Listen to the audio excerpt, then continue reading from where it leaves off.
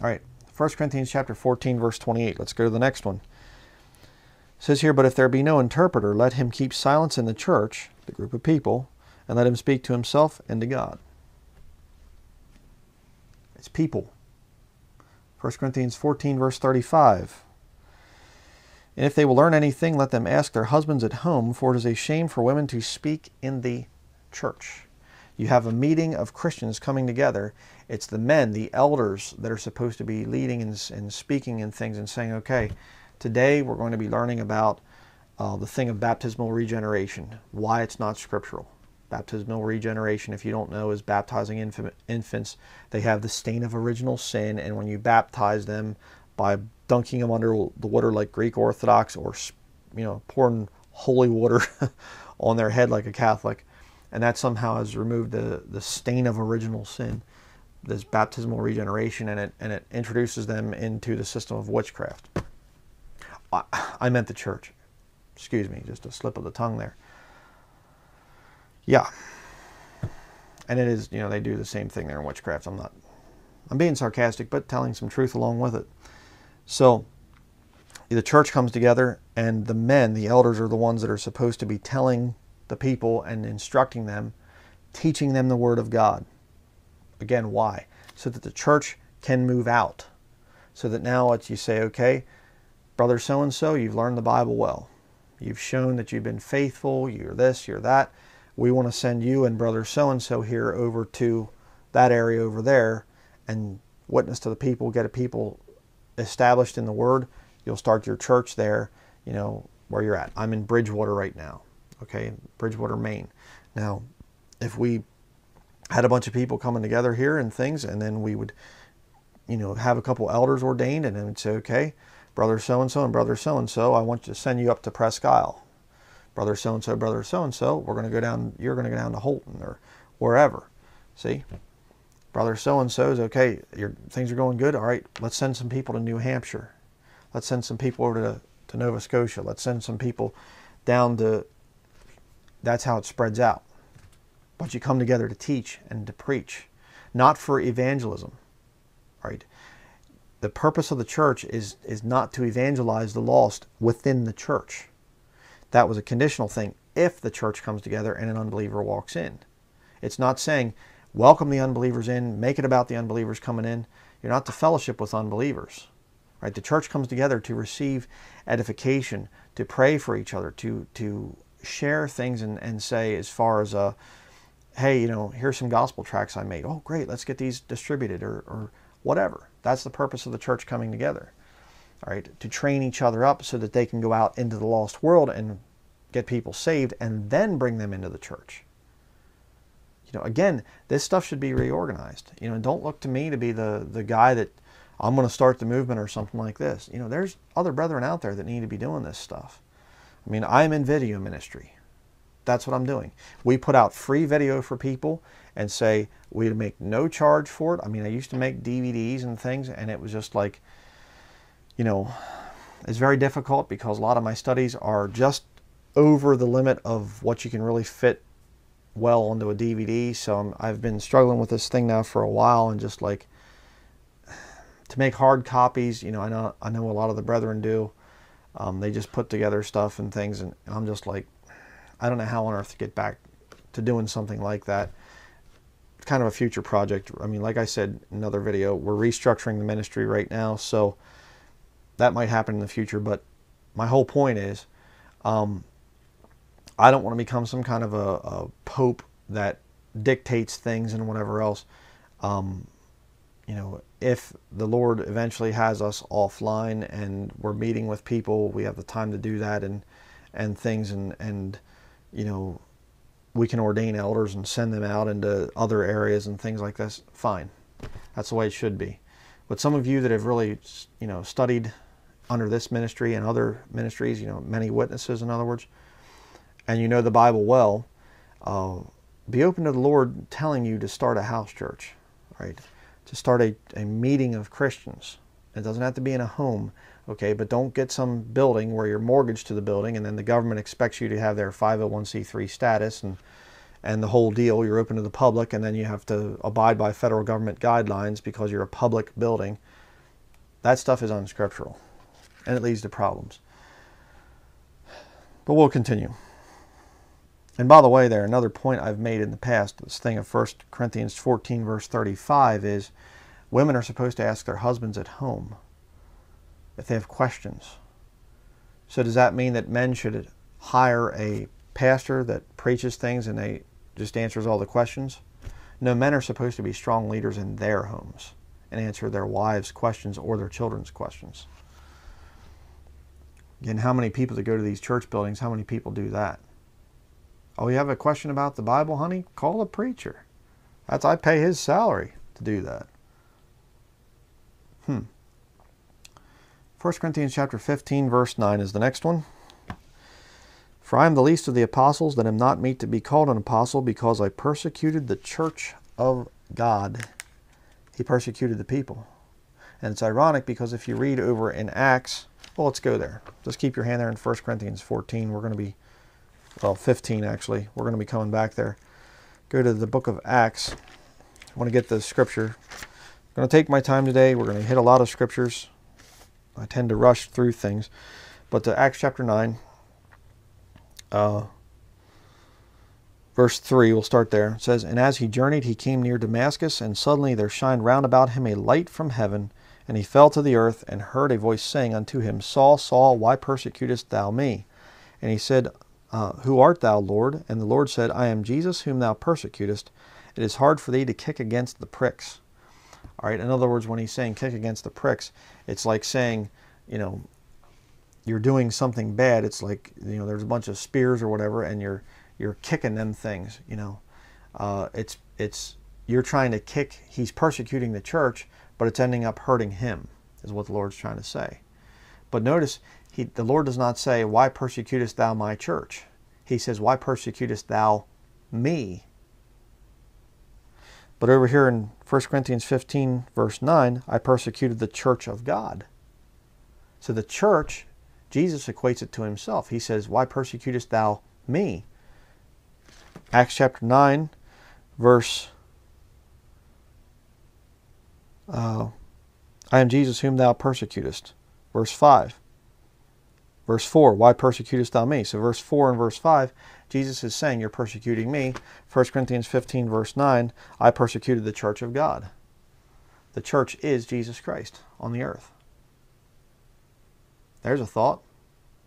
Are you in church? Better think about that. But let's continue. 1 Corinthians chapter 16, verse 19. You know, this is not a uh, real interesting going from verse to verse study and seeing how scriptures all tie together. I mean, there's a little bit of that in this study, but I mean, this is just a deep study of the scriptures. 1 Corinthians chapter 16, verse 19. Kind of like when we went through the thing of tribulation, the word tribulation and tribulations. Okay, it says here, the churches of Asia salute you. Aquila and Priscilla salute you much in the Lord with the church that is in their house. Hmm. Well, you see, that's because at first they didn't have the money for a good building. You know, later on, after the Bible, after the New Testament was written, then the Christians were safer, and then they had, were more prosperous, so then they built church buildings. No, they did not. Next, let's go to 2 Corinthians chapter 1, verse 1. Says here, Paul, an apostle of Jesus Christ by the will of God, and Timothy, our brother, unto the church of God which is at Corinth, with all the saints which are in all Achaia.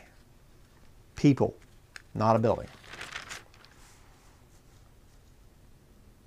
Galatians 1.13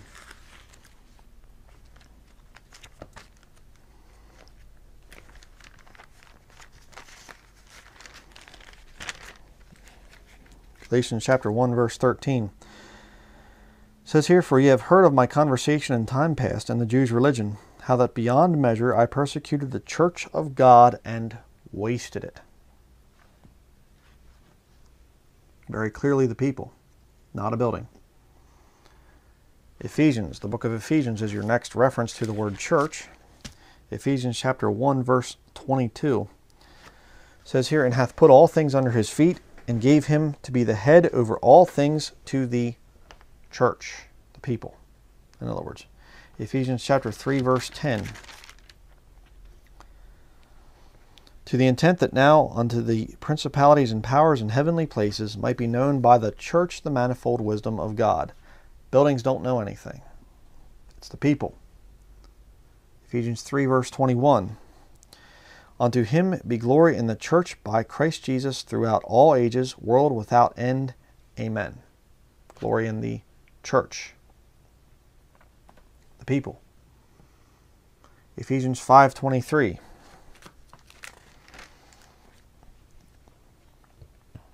For the husband is the head of the wife, even as Christ is the head of the church, and he is the savior of the body. Now see, that's a mistranslation because you see the head of the church is the IRS through 501c3. No, the head of the church is Jesus Christ. If you're in a real church, anyhow.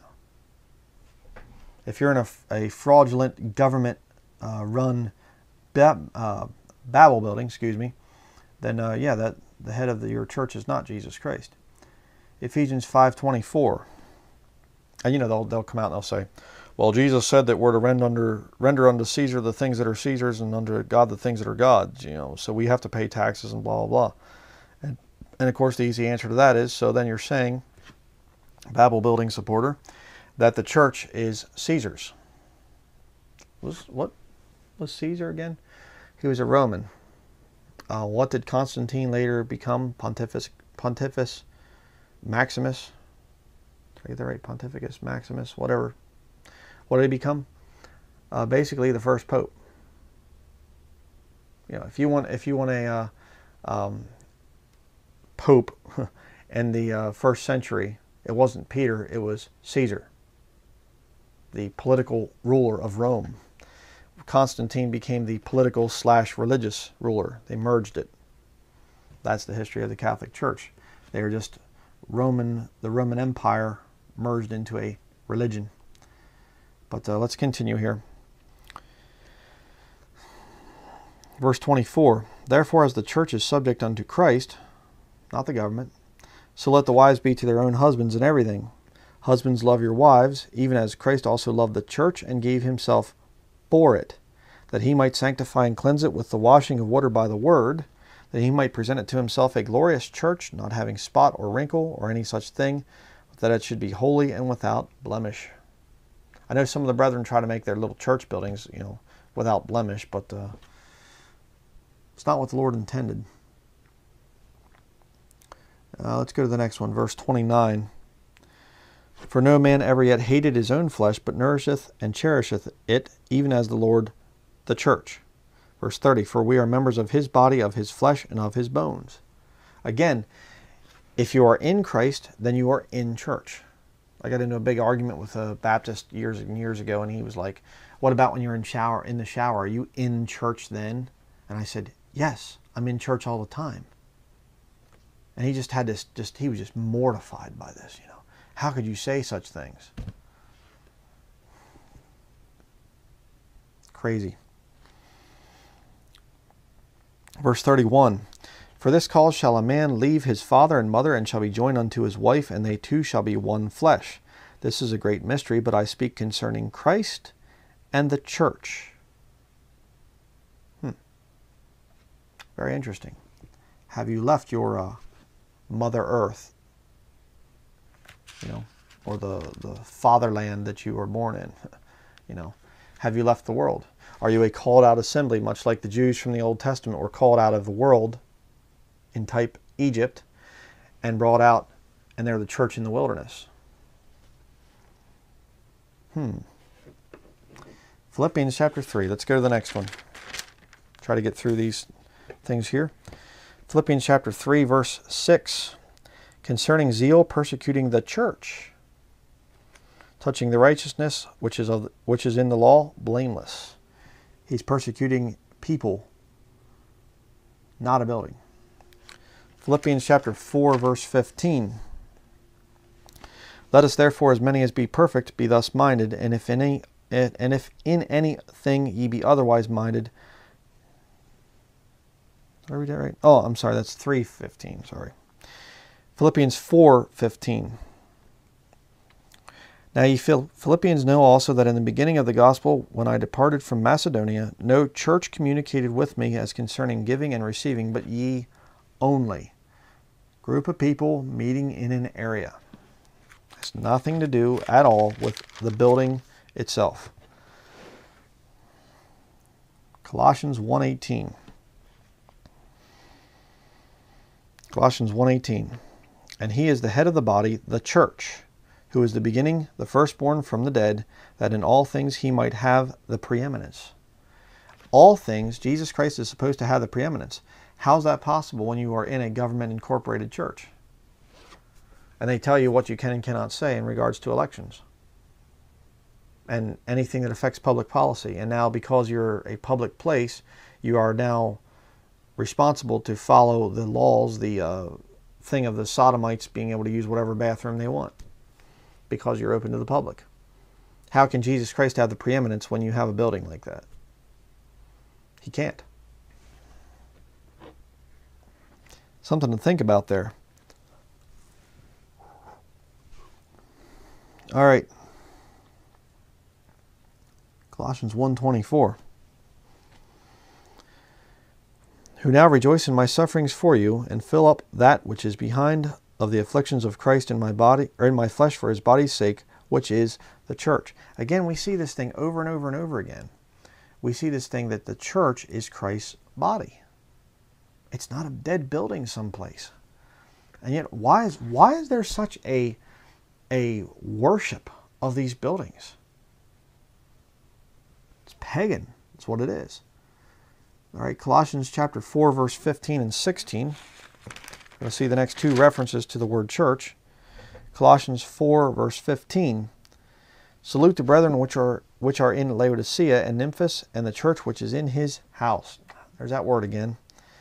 And when this epistle is read among you, cause that it be read also in the church of the Laodiceans, and that ye likewise read the epistle from Laodicea. Laodicea. Interesting. All right, next we're going to go to 1 Thessalonians chapter 1, verse 1. Paul and Silvanus and Timotheus unto the church of the Thessalonians, which is in God the Father and in the Lord Jesus Christ. Grace be unto you and peace from God our Father and the Lord Jesus Christ. Is it not obvious yet, you know? I realize that you know a lot of the uh, go next to Second Thessalonians chapter one verse one.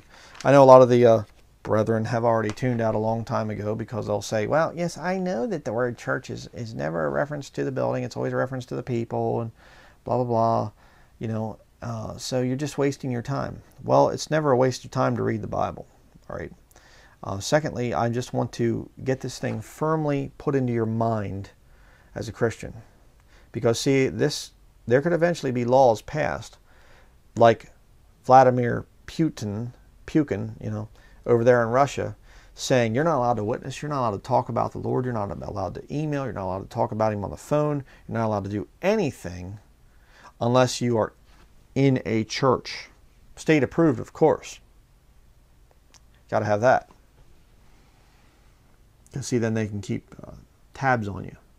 Know what I mean? Second Thessalonians chapter 1 verse 1. Paul and Silvanus and Timotheus unto the church of the Thessalonians in God our Father and the Lord Jesus Christ. People, not a building. 1 Timothy chapter 3 verse 5. Talking about the qualifications for a bishop. It says here, For if a man know not how to rule his own house, how shall he take care of the church of God? The people. Jump down to verse 15 of the same chapter. Here's a here's a good one. Okay, this is another one that the uh, Babel building people will use. We'll look at it what it actually says here. 1 Timothy 3:15 But if I tarry long that thou mayest know how thou oughtest to behave thyself in the house of God, which is the church of the living God, the pillar and ground of the truth. And they'll say, "See, how can you behave yourself in people?" It's the house of God. Okay? But it defines it right in the text. That thou mayest know how thou oughtest to behave thyself in the house of God, which is the church of the living God, the pillar and ground of the truth. What's the church of the living God? I persecuted the church of God and wasted it. What is it? It's the body of Christ. So you can't use this scripture and say somehow you divorce the two. The church of the living God meets in the house of God. No, it's not talking about that. We're built up into a spiritual house as Christians. We come together to worship. Again, this is not a proof text for some kind of a building someplace. And if it was, then why does it say that it's the pillar and ground of the truth? God never told you to build a building and never told people to invite lost people into it to get them saved and stuff because we're having a revival meeting or something like this. That's not the truth.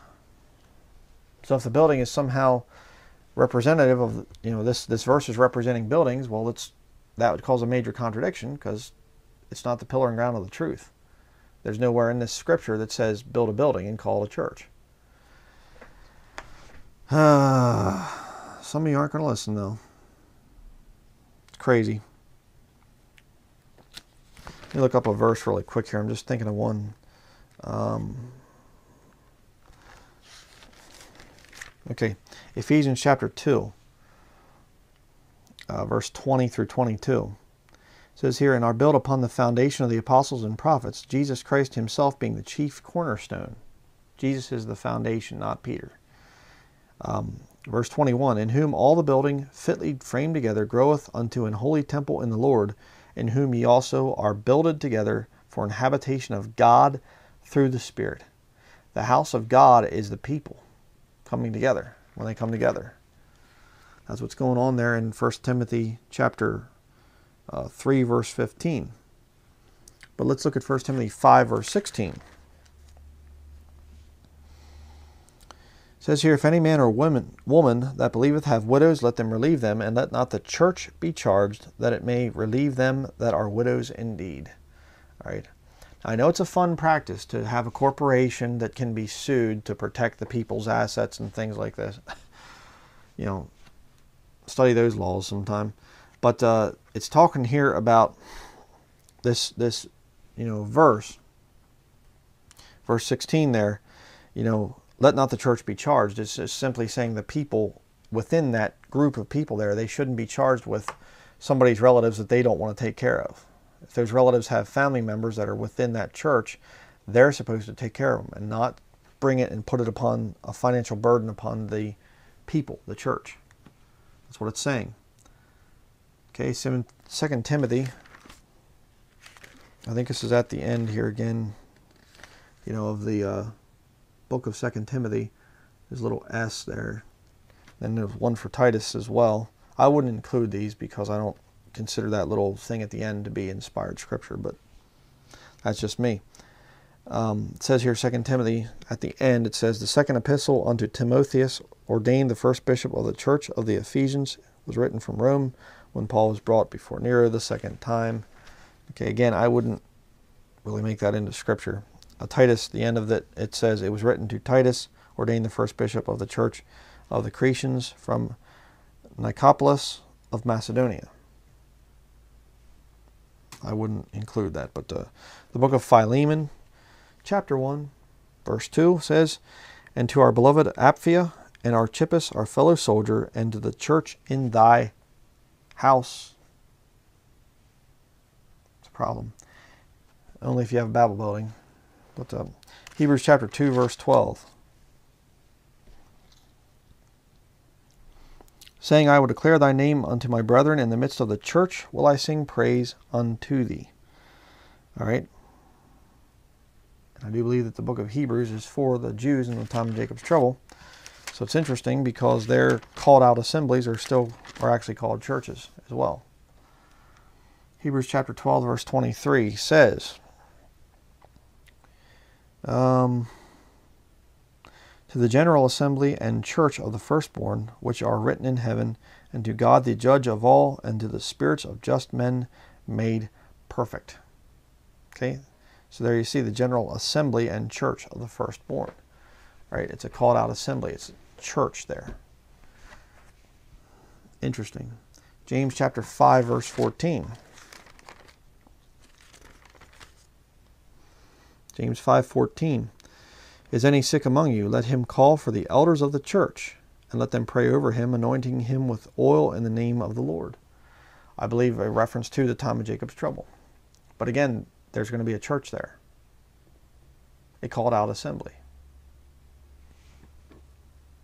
1 Peter 5:13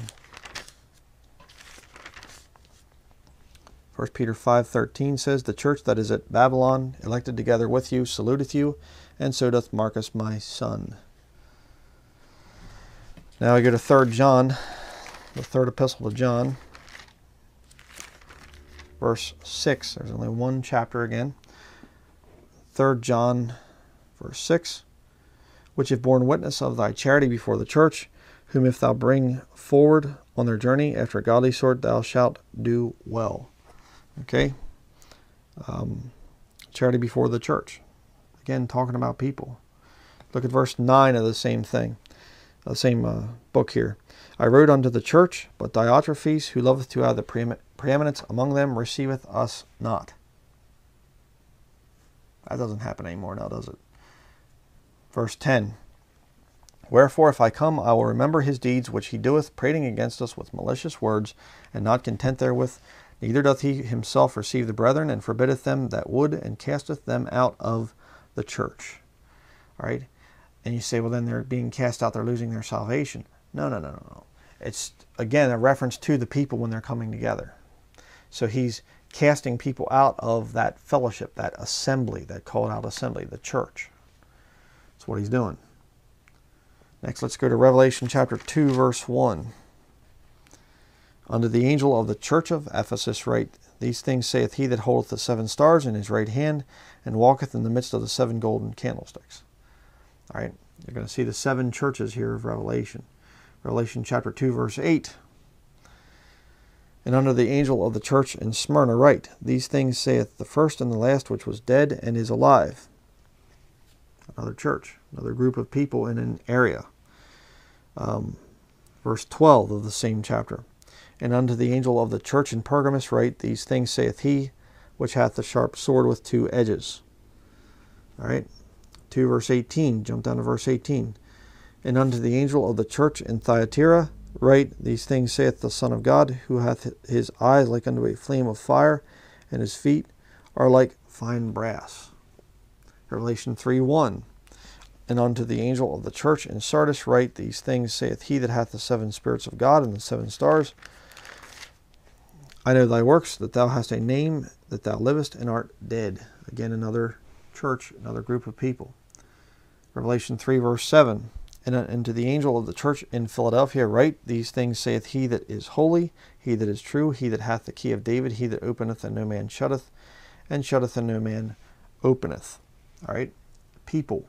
Revelation 3, 14. And unto the angel of the church of the Laodiceans write, these things saith the Amen, the faithful and true witness, the beginning of the creation of God. All right, that's the last reference to the word church. All right, now there's a bunch of references here to churches in the plural. Go back to Acts chapter 9. We're going to get through these. Much study is a weariness to the flesh. Believe you me. Acts chapter 9, verse 31. We'll try to read through these quicker. It says here, Then had the churches rest throughout all Judea and Galilee and Samaria, and were edified and walking in the fear of the Lord, and in the comfort of the Holy Ghost were multiplied. How does a building walk in the fear of the Lord? It doesn't. It's the people. Acts chapter 15, verse 41. And he went throughout or, and he went through Syria and Cilicia confirming the churches. Again, like I've been talking about.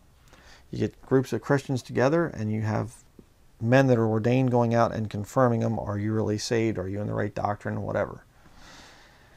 Acts chapter 16, verse 5.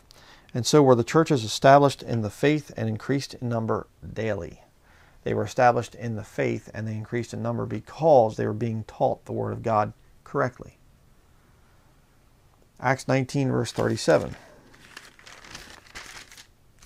There's an interesting one. Acts 19, verse 37 says here, For ye have brought hither these men, which are neither robbers of churches, nor yet blasphemers of your goddess. Interesting because this instance right here, you have a pagan worshiper of Diana, and he's actually saying that these Christians are not robbers of churches. He's referring to their pagan temples. So they were calling their pagan temples churches in the first century. And you know, somebody's going to say, "Well, yeah, but the Greek word there is is should be better translated as temples and not churches." Oh, well, again, we're back to the argument of uniform translation. You know, you you translate the word according to the context in which it appears. That's the right way to do it. And uh, the Lord definitely showed a prophetic thing in that statement there, that there would one day come buildings that people thought were churches. Next, let's go to Romans chapter 16, verse 4.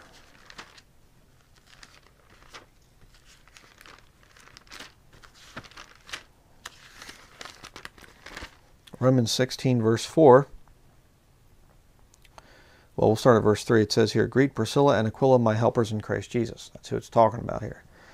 Verse 4 Who have for the, my life laid down their own necks, unto whom not only I give thanks, but also all the churches of the Gentiles. Plural word for churches there that you see. It's people. 1 Corinthians chapter 7, verse 17 says here, But as God hath distributed to every man, as the Lord hath called every one, so let him walk, and so I and so ordain I in all churches. Ordaining people in churches. Groups of people, not buildings. 1 Corinthians chapter 11 verse 16. But if any man seem to be contentious, we have no such custom, neither the churches of God people, not buildings. 1 Corinthians 14 33 and 34.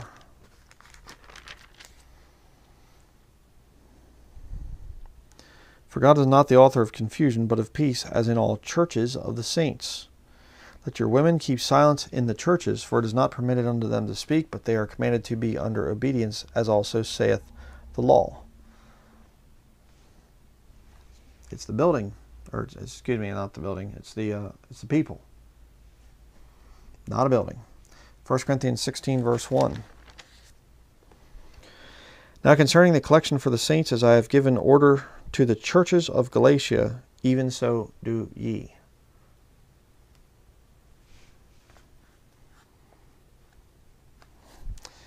Verse 19 of the same chapter. The churches of Asia salute you. Aquila and Priscilla salute you much in the Lord with the church that is in their house. Again, read that earlier. 2 Corinthians chapter 8 verse 1.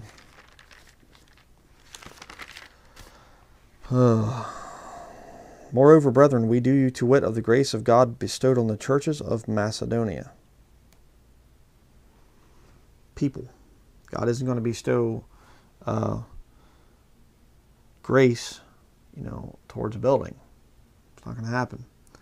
Verse 18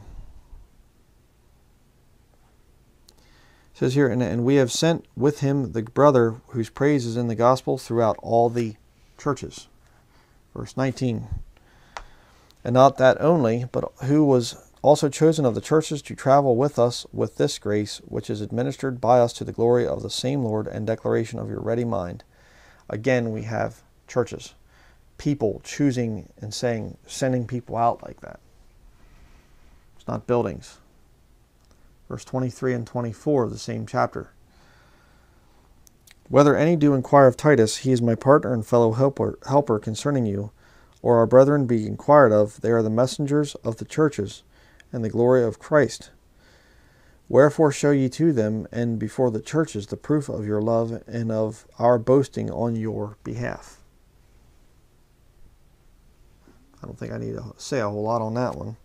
Just very self-explanatory. It's a group of people. 2 Corinthians chapter 11, verse 8. I robbed other churches, taking wages of them to do you service. Paul being a little bit sarcastic there. Course, he wasn't robbing anybody. He wasn't robbing groups of people, but they were. The Corinthians are, you know, saying, you know, you're doing this for the money and all this other stuff. I get that thing put on me, you know, you're doing this for the money. And I'm like, yeah, right. You know, wrecking my health and, and I'm, you know, so tired I don't get much sleep at night sometimes. And I had about five hours of sleep last night. So my body's starting to wear out. You know, combine that with work in construction, you know, and uh, see how you do. 2 Corinthians chapter 11 verse 28 Beside those things which, that are without that which cometh upon me daily the care of all the churches Paul must have been a janitor because he you know the care of all the churches so he went around you know fixing the leaky sinks and and you know cleaning the toilets out and things no, he was not talking about that. The care of the churches means he's taking care of people. Chapter 12, verse 13. 2 Corinthians 12, verse 13. says here, For what is it wherein ye were inferior to other churches? Except it be that I myself was not burdensome, burdensome to you. Forgive me this wrong. How do you burden a building? Hmm It's not a building, it's people. You understand? Uh, Galatians chapter 1, verse 2. And all the brethren which are with me and to, unto the churches of Galatia. Verse 22. Galatians 1 22. It was unknown by face unto the churches of Judea which were in Christ. Again, we see the thing. These people, the church of God, is in Christ. We are his body somebody says, you know, I, I wouldn't do this in church, well, as I said earlier, oh, then you're not saved. You're in church all the time as a Christian. 1 Thessalonians chapter 2, verse 14.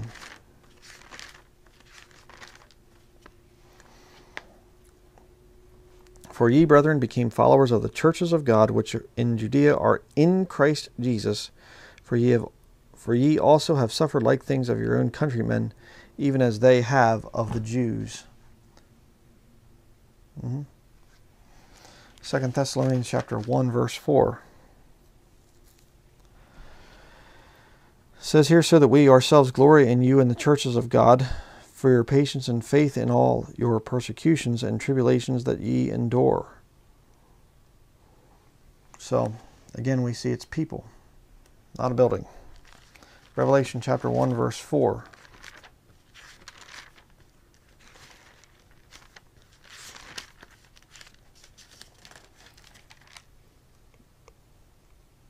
Oh, Revelation chapter 1, verse 4. John to the seven churches which are in Asia, grace be unto you and peace from God, which is, and which was, and which is to come, and from the seven spirits which are before his throne all right? How can you have grace be unto you and peace from him which is and which was and which is to come? He's writing to the churches and he says, I'm writing to give you peace. Buildings can't have peace. Revelation 1, verse 11. Saying, I am Alpha and Omega, the first and the last. What thou seest, write in a book, and send it unto the seven churches which are in Asia, unto Ephesus, and unto Smyrna, and unto Pergamos, and unto Thyatira, and unto Sardis, and unto Philadelphia, and unto Laodicea. Revelation 1.20, there's two of these here. The mystery of the seven stars which thou sawest in my right hand, and the seven golden candlesticks. The seven stars are the, and are the angels of the seven churches, and the seven candlesticks which thou sawest are the seven churches. Hmm. Interesting. Revelation 2, verse 7. He that hath an ear, let him hear what the Spirit saith unto the churches. To him that overcometh will I give to eat of the tree of life, which is which is in the midst of the paradise of God. Another example there. Okay, uh, Revelation 2, verse 7. Uh, he that hath an ear, let him hear what the Spirit saith unto the churches. To him that overcometh will I give to eat of the tree of life, which is in the midst of the paradise of God. To him that overcometh. It's not talking about a building, it's talking about people. The church there. Chapter 2, verse 11.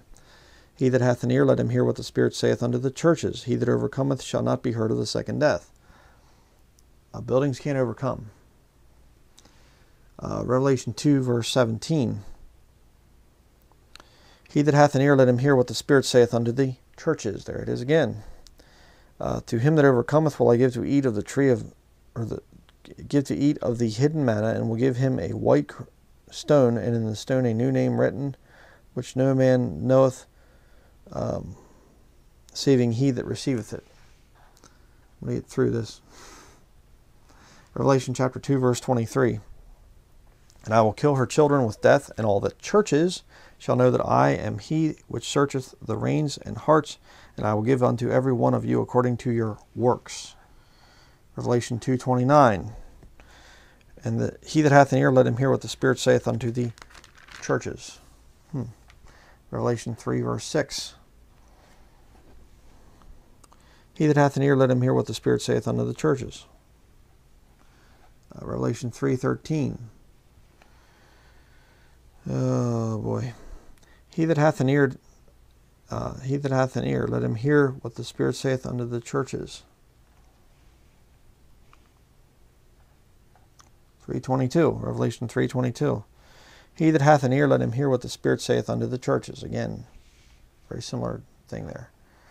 And uh, you say, well, how many more references? Well, just one. Revelation chapter 22 keep your hand there in Revelation chapter 3. Revelation chapter 22, verse 16. I, Jesus, have sent mine, excuse me, let me start over there. I, Jesus, have sent mine angel to testify unto you these things in the churches. I am the root and offspring of David and the bright and morning star. Now, chapter 3, verse 22, it says churches chapter 22, verse 16, it says churches. Where is the churches in between there? They're not there. You know why? Because the church is gone. It's been raptured. There are no churches in the time of Jacob's trouble. Interesting. At least not by name. Now, there will be called out assemblies in that time period. Sure. Absolutely. So that's it. We're finally through. I don't even know how many references that was. Quite a few. Um, let me just check here real quickly. But you know, it does a it does you good sometimes to just go through the Bible like that. You know, it is a weary weariness to the flesh. Um, okay, 80 verses for just the word church